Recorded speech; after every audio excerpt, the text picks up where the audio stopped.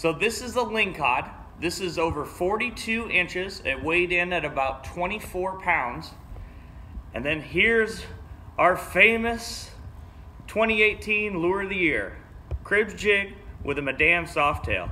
So you can tell why it gets all chewed up like that because of these huge teeth that these lingcod have. So when it gets caught, it's looking just like that. Just like that.